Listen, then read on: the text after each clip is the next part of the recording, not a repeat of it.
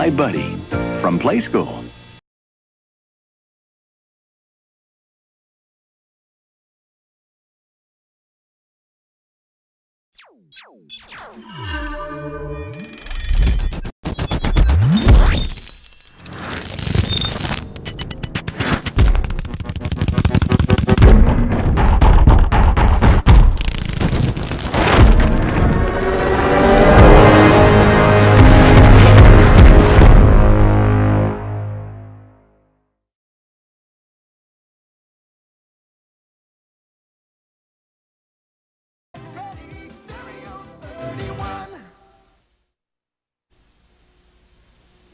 Little cinnamon gum freshens breath longer than Big Red. So kiss a little longer, stay close a little longer, hold tight a little longer, longer with Big Red. That Big Red freshness lasts right through it.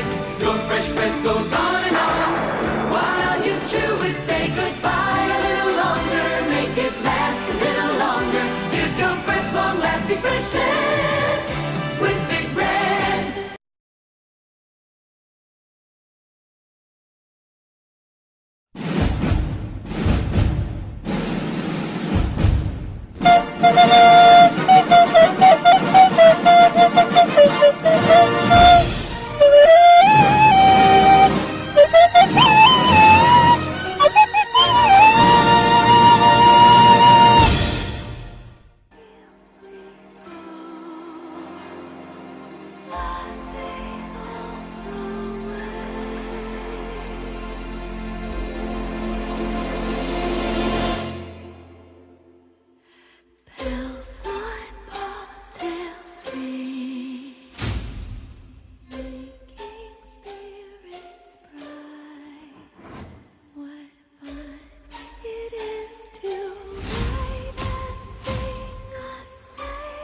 The Magnificent Misadventures of Modelo, Aerospace Extraordinaire.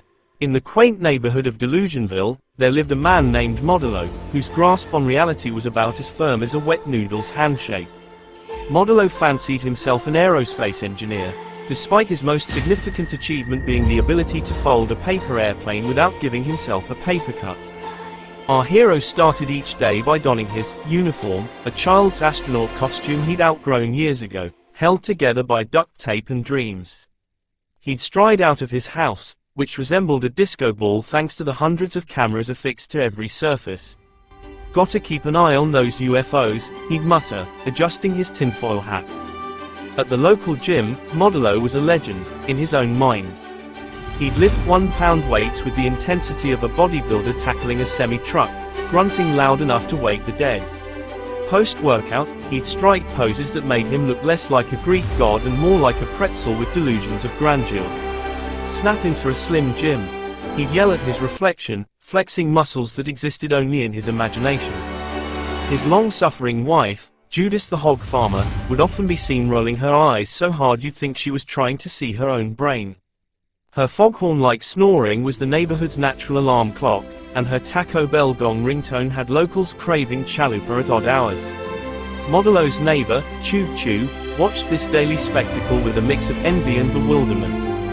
If only I could be that confidently clueless, Choo Choo would sigh, as he watched Modelo attempt to fly by jumping off his roof with cardboard wings. But Modelo's true genius shone brightest during his aerospace demonstrations. He'd gather the neighborhood kids, promising to show them the future of aviation. With great fanfare, he'd launch a paper airplane, which would promptly nosedive into a mud puddle. And that, children, is how we'll colonize Mars. He declared triumphantly, following up with his catchphrase, You believe me, right? Jokes flew over Modelo's head so frequently that local birds started using him as target practice. The whooshing sound of humor sailing past his ears had become the neighborhood's ambient noise. Why is it always so windy around here? He'd ask, oblivious to the laughter surrounding him.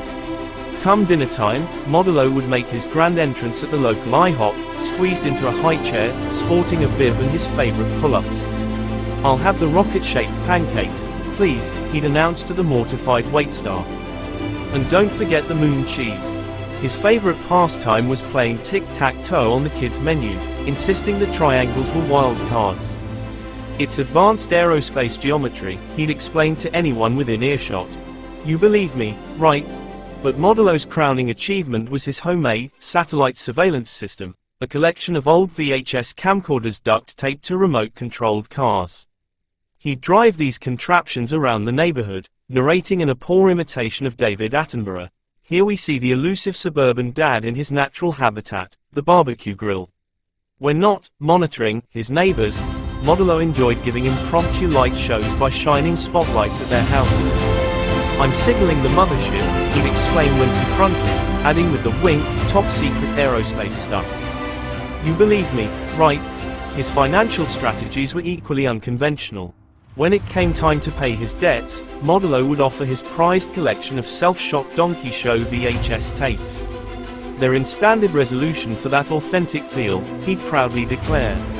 It's like watching a ballet, but with more boobs. One day, the neighborhood decided to humor Modelo by throwing him NASA Appreciation Day. They set up a cardboard rocket in the park and told Modelo it was a real spacecraft. Our hero spent the entire day preparing for launch, which mostly involved making whooshing noises and asking passersby if they wanted his autograph. As night fell, Modelo climbed into his rocket, ready for his mission to Mars. The neighbors counted down, and at zero, they shone flashlights on the cardboard contraption.